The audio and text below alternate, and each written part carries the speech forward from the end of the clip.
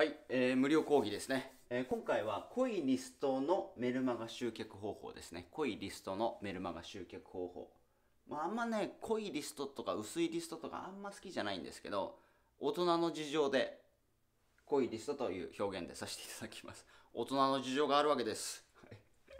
はい、ということでその講義入る前にですね本日の18時と22時 LINE の方で最後の2日間限定でご案内している、えーコピーライティングボックス NEO ですね。コピーライティングボックス NEO まあ、この NEO っていうのは何かっていうともう自動化自動で売り上げをこうメルマガでねステップメールとかで作っていく、えーためにどういうことをやればいいのか。あとマーケティングとかね、えーもうその全般全部入ってます。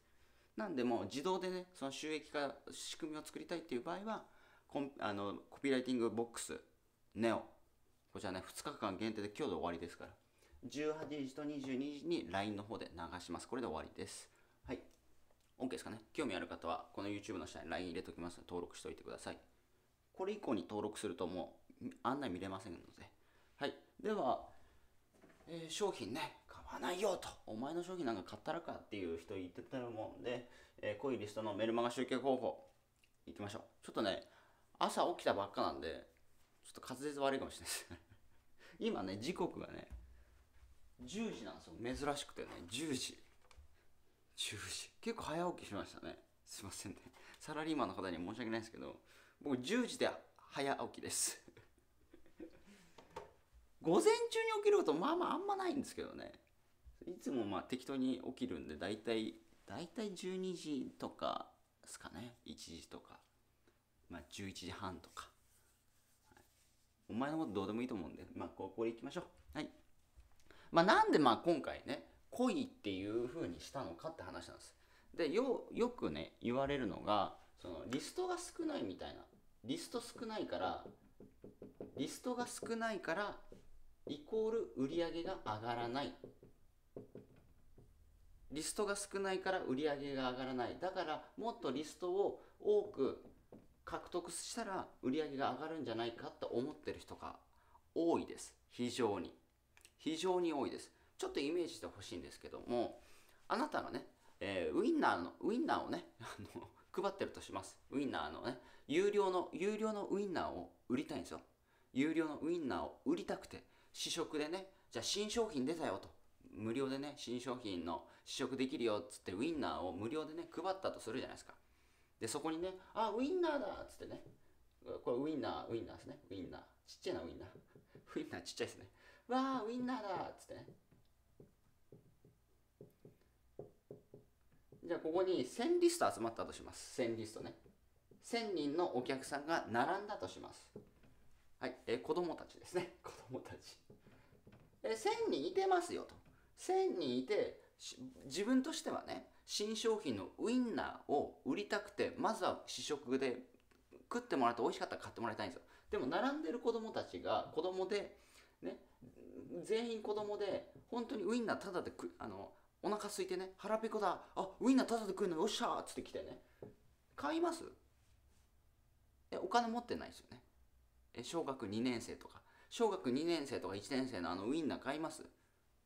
じゃあおばちゃんこれ美味しいから買うよっつって買うスーパーそのままレジ持ってって一人で買う子います？まあ少なくても母ちゃんに言わないといけないですよね。だけどここに集まった人たちっていうのがただウインナー食いたい人。リスト集まってるんですよ。だけどただウインナー食いたい人が集まったら売れます。売れないんですよ。わかります？だからここねめちゃめちゃ気をつけないといけなくて何のためにリストを集めるのか顧客リストを集めるのかって売り上げを上げるためですよね。大丈夫ですか？大丈夫ですよね。売り上げを上げるためなんだからその買わないお客さんを集客してもしゃあないよねって話なんですよ。わかります？買わないお客さんを集客してもしょうがないということです。極極論ですよ。ただしまあこれからちょっと話していきますんで。ではどうやって濃いリストをねこうじゃあ集めてそのできるだけその購入する確率が高い人を集めていけばいいのかっていうとこれはね多分ね誰も教えてくれないと思うんですけど これ多分ね教えてる人いないと思いますよ。これね無料で言いたくねえな。まあいいや。あのね結論集めないってことです。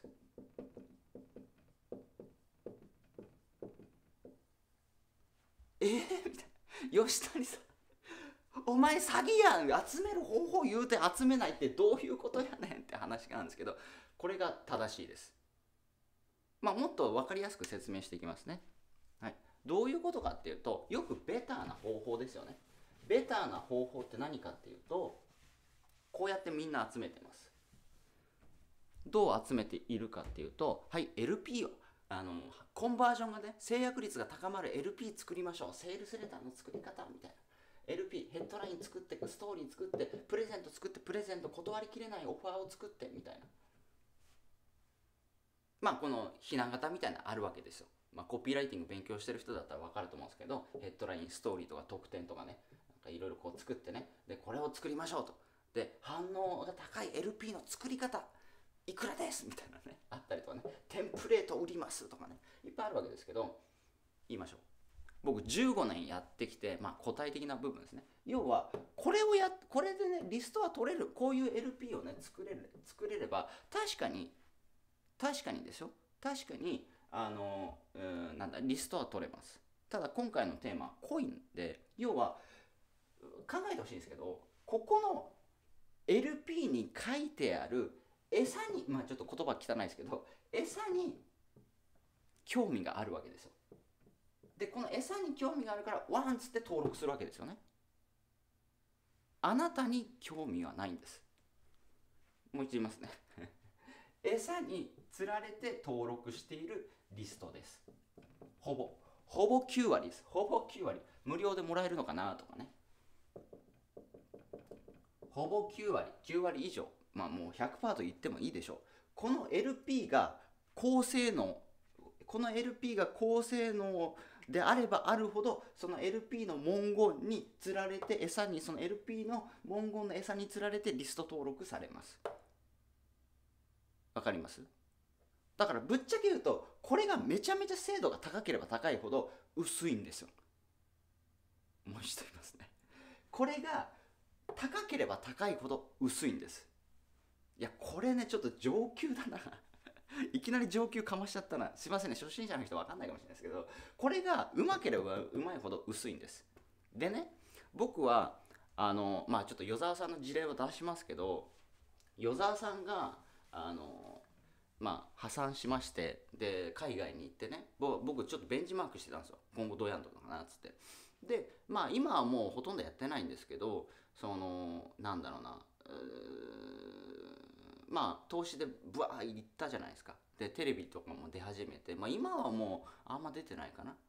まあ結局落ちてまたバーンみたいなね。まあアパレルの時もバーンいってバーンみたいな。もうもうこれなんですけど。じゃあどうやってこうやるのかなっつってね。で与沢さんは昔その会社でフリーエージェントスタイル六本木みたいなね。六本木フリーエージェントもうフリーエージェントスタイルにも何回も行ったことありますけど。そのフリーエージェントスタイル六本木ですはね毎週ね毎週セミナーやってねあそこで。何百万のバックエンドをもう毎回売ってたんです。げえなみたいな。で会長室行ったらねなんかすごいなこのオブジェみたいなね。どんだけ金かけてんだみたいな。まああの当時ねあのフリーエージェントスタイルの行った人いてると思いますけど、ね、セミナー結構やってたしね、うん、で当時与沢さんがやってた時はもうもう完全もうあの会社でやっててスタッフさんとかもいたんでデザイン入れたりとかしてブワーやってたんですよ、ね、ブワー。うわしょい。皆川大輔お祭りわしょい。みたいな。お祭りじゃないけどお祭りましょいみたいなね。お祭りみたいなやってたわけなんですけどじゃあ与沢さんがねあの一人になりました。一人になった時にじゃあどんな感じになってたかっていうと はいえー、与沢つば与沢？与沢翼翼翼公式メルマガ。ホーム。終了。これだけです。これだけ。昔ねブワイケイケやってたのにあのこれだけでした、はい、でここの下に Y メールみたいな書いてあるんだあ与沢さん Y メール使ってんだみたいな。そりゃそうさな結構リストあるしなっつって。で僕 Y メールあの使い始めたんですけどそっから。そう。与沢さん使ってるから Y メール使おうっつって。Y メール使ったのはこれを見てあ Y メール使う。ここら辺に Y メールみたいな書いてあってね。Y メール使ってんだなみたいな。これだけですよ。これだけ。はい。です。だからあのもうほんと究極言いますよ。究極言うとぶっちゃけこれだけでいいんです。みんなねこの LP の作り方勉強したりとかまあいいんですよさあ最初のステップ初心者のステップだ、まあ、これちょっと上級の話になっちゃってるんであれなんですけど最初はここから入ってもいいんですよ。だってリスト取らないといけない部分はあるんで。ただしあの今回はね濃いリストっていうテーマで言ってるんで初心者向けじゃなくて申し訳ないですけど最終的にはここでいいんです。これで取れるようにしないといけないです。これで。でこれで取れるって何かっていうとここに登録する人っていうのはこれねなんだろうな。得点もないですよね。得点もないし、えーなんかメリットないんですよメリットなくても登録したい。なんでですか？メリットない得点ない。なんでとここに登録したいんですか？それ与沢さんに興味があるんですよね。この人な何やってんだろうって与沢さんに興味があるんですよ。だからね僕ね与沢さんが名前を売れみたいなねあのなんか名前検索でその「いいとも」出た時とかすげえなと思ったんですけど「いいとも」だったかな？あのもう「いいとも」出るの分かってるからもう SEO で「いいとも」出たご覧の皆さんへみたいなね「いいとも」与沢で検索するともう出るようにしといてで「いいとも」をご覧になったあなたへみたいな。LP 作ってたりしてたんですけどすげえなと思いましたけどね、うん、まあまあまあこここういう風にすると一番いいです。でじゃあここで取るためにはどうすればいいのかって話なんですね。こういうフォームでも取るためにはどうすればいいのかって話なんですけどだぶっちゃけ本当に極めるとこれが一番ベストです。であとね僕がねすごいなと思ったのがやっぱここですよね。僕のスタイルももうこう与沢さんパクってる部分あるんですけどてかパクったんですけどあの一番最初らへんかな多分56年前だと思うんですけどあの与沢さんがこのブレブレでね iPhone でプロモーション動画を撮ってたんですよ。でグローバルトレーダーズスクールだったかな。それ多分一番最初売った時が23億売ってるんですよ。23億ですよ。で動画これなんですよ。ブレブレなんですよで単純にもうただ iPhone でただ喋ってるだけなんですよ。いやこれで23億かマジ神だなと思ったんですけど。だって今までのプロモーションとかね与沢さんもやってる会社でやってましたけどなんかナレーション入れたりとかねババンボンバンビンビンボーンみたいな海外撮影とかわーみたいにやっててえもう iPhone でこれだけで3億ですよ。あこれが究極だなと僕は思いまして。ここ行きたいと思いましたね。だってめっちゃ楽じゃないですか。だってもう iPhone でブレブレでもいいんですよ。で喋ってでしっかり売るっていう。単純に。何の派手さもない。多分 LP も当時なかったんじゃないかな。多分グローバルトレーザーズスクールの2期3期株株もやったと思うんですけど多分そこあたりはちょっと LP ちょっとあったんですけど最初多分あんまなかったような気がしますね。なんかそのその昔みたいにブワーみたいな。うん。じゃあまあこれをこれでリスト取るためにどうすればいいのかっていうともう完全に教育ですね。だから教育とこの集客がセットであるってことですね。まあ結論言うとここがちょっとねウエイト高いですね。ここが 7, 7対3ぐらいですね。はい。みんなしももちろん集客しないといけないんですけどうんなんやろな。ここが強くないと興味出ないんでその人に。わかります？なんでここが7で集客3わかります？あまあまあこんな感じでやるとその人に興味が出ます。うん。で僕が今今僕の場合はあのなんだえーと集客の部分が弱いんですよ。弱いけどもなんで売れてんのか4年間売り続けてるのかっていうと集客弱いんですよ。集客めちゃくちゃ弱いです。この動画も多分まあちょっと SEO ちょっと入れてるんでロングでちょっと回るようにちょっと回るかなと思ってちょっとタイトルそういう風にしてるんですけどあ多分そんな回んないんですよ。僕の場合はね。だからそれ分かってるんだ分かってるんですよ。分かってるから今講義作ってるんですよ。だからね教育ですね結論。でこの入り口で要はこれこれを強めることによってその特典とかオファーとか、まあ、メリット。メリットでつらずつらず〇〇さんに興味ありこの人に興味ある。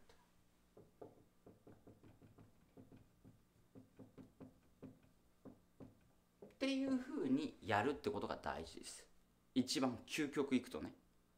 うん、で僕はここに行った方が最終的にはですよ、まあ、最初 LP から入って全然 OK なんだけども最終的にここに入った方がいいです。なぜならば要は餌で釣ってるわけだからウインナー食ったらねいなくなるんですよ。割合が多いですよね。だからウインナーをフックで自分に興味づけっていうのももちろんあるので、まあ、それは前回の動画でなんかコラムみたいなねコラムとか PS とかコラムでそのメルマガで何かやりましょうみたいな話したと思うんですけどそれは餌を与えて釣った後しっかりと自分に興味出るように PS とかコラムで自分の人間性だったり自分の考え方っていうのを書いてで興味を持ってもらうっていうことを多分言ったと思うんでそれを聞いてください。うん、なんであ今回のテーマとしてはここですね。ここに集中しろということですね。でじゃあ教育って何なんですかって話なんですね。吉田さん教育って何なんですか？みたいな。まあこれいろいろな概念があります。ただ今回の教育の概念はこの〇〇さんあなたに興味を持ってもらうための教育です。もう一度言いますね。この教育っていうのは商品売るための教育もあるし、えー、なんだ〇〇さんに興味あなたに興味づけするっていう教育もあるんですよ。まあ、いろんな教育があります。ね、だ教育って言ってもなんだ国語があったりとか算数とかあったりとか体育があったりとか保健体育があったりとかね、まあ、いろいろ科目あるじゃないですか。まあ、そんな感じでいろいろな教育の概念があるんだけども、えー、今回はこう〇〇さんあなたに興味づけするための教育ですね。これどうすればいいのかっていうとあなたの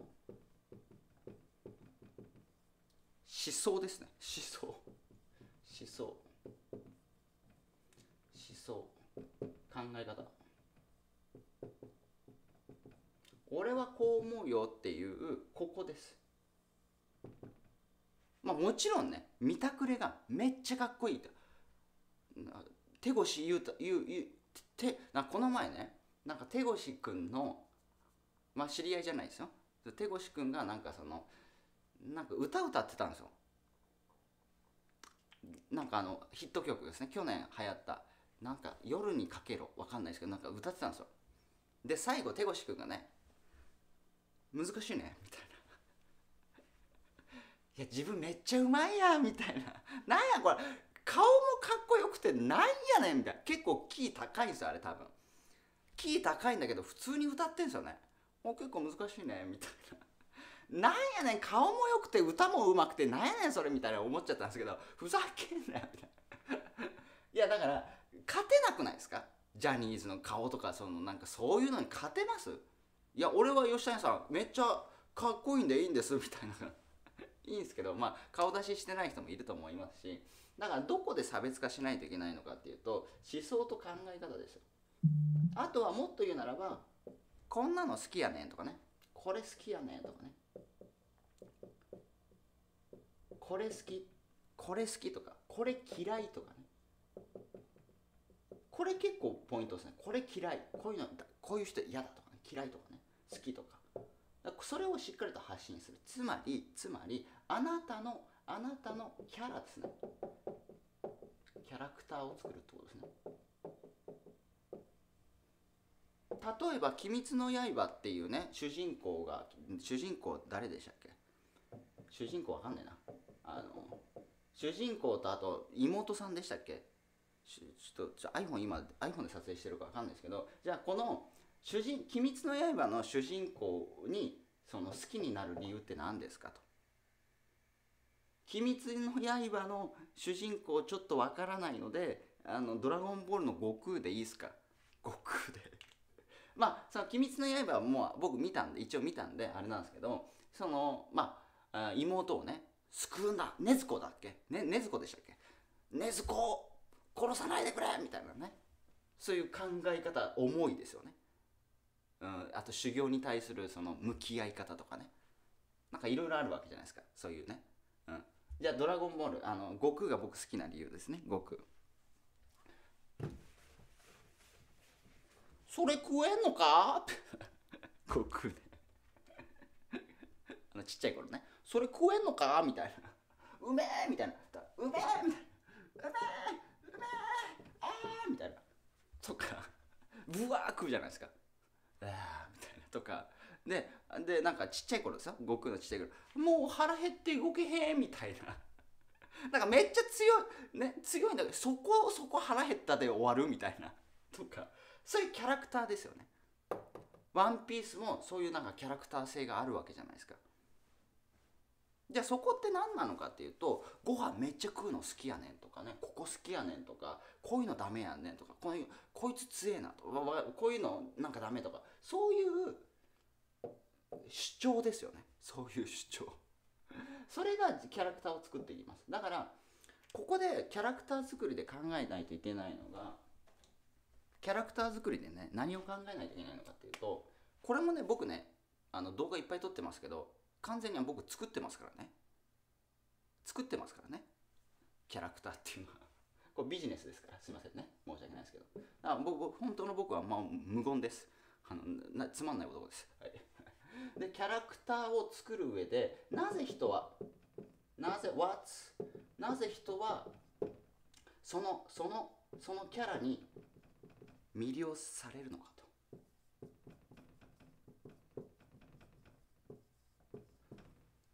なぜ人々はそのキャラクターに魅了されるのか。そこの本質は何なのかと。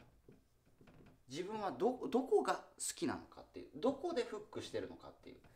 でそれを見るとあ人ってこういうところでキャラクターっていうのを認知して好きになるんだなっていうのが多分考えたことないですよねこれは。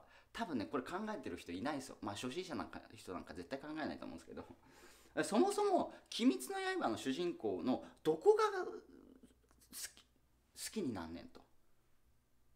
えどこのポイントフックだったの？みたいな。だってアニメなんてめちゃめちゃあるわけじゃないですか。めちゃめちゃありますよね。どうですか？もう昔からもうめちゃくちゃあるわけじゃないですか。でもなんかずっと根付かれてるそのキャラクターこれ好きだって多分まあアニメ見てる人だったら絶対いると思うんですよ。例えばバギーがいいみたいなね。バギーが好きやねんっていう人もいるだろうしなんだバギーとあと何何でしたっけ？あ桜木花道がめっちゃ好きやねんっていうね。いや桜木花道じゃなくて僕は安西先生ですみたいなね。いやあとはなんだいやゴリでしょみたいなね。まあ人それぞれ好きなポイントって好きなキャラクターって違うと思うんですよ。じゃあ自分は何なんでそこ好きになったのかっていうのを客観的にプロデューサー視点で考えろってことですね。プロデューサー、はい、でそれを客観的に見てで自分はどういうふうなキャラクター性を出していくのかっていうのを考えて作っていくっていう。キャラクターっていうのは作るものですからね。だから自分の素がつまんないんだったら自分のつまんない素を出しても受け入れられないじゃないですか。だから僕なんかはそもそも無言だし人べ人見知りだし喋らないわけですよ、ちょっときついですよね。これ1時間耐えられます？まあ無理でしょうね。こいつ死んだのかな？みたいな。いこんな感じですよ僕。まあでもね普通にカメラ回ってないで独り言喋る人あんまいないと思うんですけど。あんま僕喋んないんで。うん。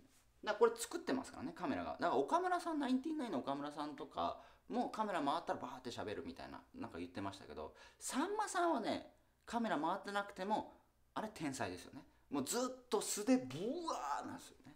さんまさんはやばいです。だから作らないといけないですキャラクターを。キャラクターっては作るものです。悟空も作ってあのその鳥山明さんが作っただろうしね。作るものです。じゃあどういうキャラクターが人に受け入れられやすいのか。じゃあ自分はどういうところに興味を持ったのかとかね。自分でまず分分析するっていうところですね。でじゃあここでどういうことをやっていくとキャラキャラが出るのかなって話ですね。OK ですか？はい。まあちょっと今日も難しかったな。まあいいでしょう。はい。まあこういうことねほとんどの人考えてないですから。これをしっかりやってえやると濃いリストを獲得できます。でどっちがいいですか？薄いリストを獲得するのか濃いリストを獲得するのかどっちがいいですか？さっきね与沢さんの話も出しましたけど与沢さんのあの当時ね多分ねあの LINE で普通 LINE でねもうぶわ書いてたんですよ確か。コラムを。であれでねファンかあのあれで与沢ファン作ってた部分めちゃめちゃありますからね。与沢のコラムみたいな。もうがっつりぶわ書いてるみたいう。わみたいな。与沢の思考みたいな。だから僕も、うん、YouTube で言うならば一つあのこれパクこれも与沢あそうこれ与沢さん与沢の流儀パクったんですけど あの吉谷の流儀ですね。これで思想考え方だとたりとかもブワー言ってるわけですよ。だからファンの人はあのこの前アンケート取ったら吉谷の流儀は全部見てますみたいな。で僕のぶっちゃけ言いましょう。これねデータをお伝えしますと再生リスト僕いっぱい作ってるんですけど一番再生リストで回ってるやつ何だと思います。はい、えー、吉谷の流儀ですね。これがぶち抜いて再生リストのまあこれは YouTube のアナリティクス見れる人だったら再生リストでも見れるんですけどどの再生リストが一番回ってるのか。吉谷の流儀が一般の2倍回ってます。吉谷の流儀がね。だからあのここ見てくれてる人はもう完全ファンの人です。濃い人です。でこれをししてよかったなと思いました。やっぱパクったもん勝ちだなっていう。で与沢の流儀なくなったし。多分今ないですよね。だから吉谷の流儀も1万本ぐらい。だからこ年内中に1000本は作るんで吉谷の流儀は。今年2021年、えー、吉谷の流儀は1000本取ります。1000本ね。でなんでかっていうともうデータ出てるんで2倍以上再生リストが回ってるんで。一番僕の R34 マガジンで一番吉谷優里があの再生リストの周りとしては一番高いです。しかも2倍ぐらいです。だこれを見てくれてる人ってめっちゃ僕のここで僕のキャラクターが好きで見てくれてるんで。だ濃いですよね。うん。はい。だからまあ1000本ぐらい1000条やりますけどね今年年代中に。吉谷流儀は。うん。はい、まあそんな感じでございます。はい、ということでね、今日ね、えー、んと、18時と22時に、えー、その自動でね、売り上げを作りたい、自動でステップメールで売り上げを作りたいっていう人、え、それにもう作りましたんで、僕作ったというかもうまとめたんで、ま、それ見て勉強してしっかりやってください。もうそのあコピーライティングボックスネオで入っている講義全部学習して全部やったらマジで自動で稼ぐことは余裕でできます。余裕です。でもやらないとダメですよ。ね。余裕で簡単にできるんじゃなくてやれやれば稼げるってことです。それマスターすれば。でマスターするまでは結構大変ですけどマスターしてくださいと。自動で稼ぎたいんでしょ？自動で稼ぎたいんだったらそれは大変でもマスターするべきじゃないですか。ね？じゃあ大変な思いして40年会社にサラリーマンとして働きます。そっちの方が大変じゃないですか。12年ちょっと頑張りましょう。歯を食いしばって。本当に。いやいいんですよ別に。40年僕朝早起きてあのコロナでも満員電車乗りたいですっていう人がいるんだったらそれでそうしてくださ、い、それが嫌なんだったら12年はちょっと頑張ってください本当に当たり前ですよそんなの踏ん張るぐらい12年で人生変わるんだってよくないですか？うんと僕は思います。はい、では終わります。ありがとうございました。